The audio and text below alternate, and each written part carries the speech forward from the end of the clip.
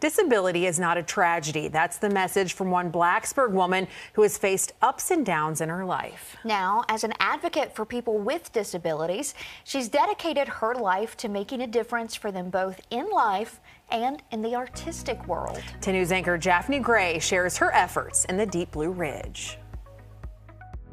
Dungeons and Dragons, Star Wars, and music are all a big passion of 35 year old Elizabeth McLean. She teaches disability studies and music history classes at Virginia Tech. Just trying to make sure that folks with disabilities find each other, find their community, and that the world kind of knows about our art and culture. She is also very connected to organizations dedicated to giving people with disabilities a voice and a sense of normalcy. My disabilities Mostly, I've had them all of my life, but didn't know. It took years for Elizabeth to learn that she had autism, but she also had a rare disorder called Ehlers-Danlos syndrome. Studying trumpet when my ribs started dislocating. That ultimately resulted in another unfortunate diagnosis that put an end to her chances of being a professional trumpeter. Found out I had endometriosis and I had a cyst rupture, um, lost an ovary and a fallopian tube. Elizabeth said that she knew she should have registered with the Services for Students with Disabilities, but being raised to work hard to overcome personal obstacles,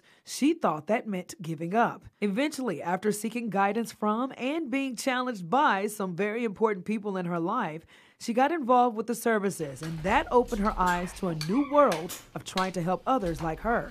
A big part of that is going to be making sure that any research about us is done with us. Despite wearing many big hats in her professional roles working at Virginia Tech, Elizabeth has still found a way to combine her passion for helping others with disabilities and her love for music history. A lot of times we'll have the product maybe, but we don't have the story. And now we'll have the story. And that is through a digital archive called Recording Cryptech. It is where Elizabeth works with an award winning online platform for outstanding art inclusive research to lift up voices of disabled artists not only like how their minds work and how they navigate the world as an artist with a, uh, with a disability, but we'll also see the obstacles that they run into, how they circumvent them. Because of her continued work, Elizabeth has opened doors helping to improve the university. Her biggest message for people like her disability isn't a tragedy, it's actually a normal part of the human experience. If you're someone with a disability, you don't have to be alone.